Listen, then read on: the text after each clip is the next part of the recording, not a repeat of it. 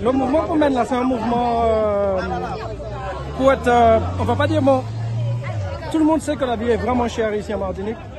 Et on a voulu marquer le coup euh, pour cet événement-là qui se fait, qui se déroule en ce moment, euh, par rapport à ça. C'était juste pour marquer le coup que la vie elle est chère ici en Martinique.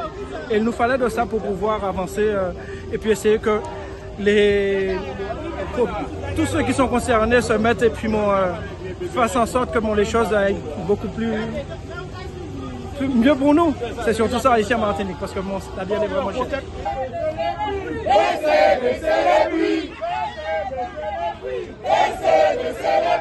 Nous sommes très satisfaits puisqu'on est quand même à 90% de l'entreprise qui sont, mobilisés sur euh,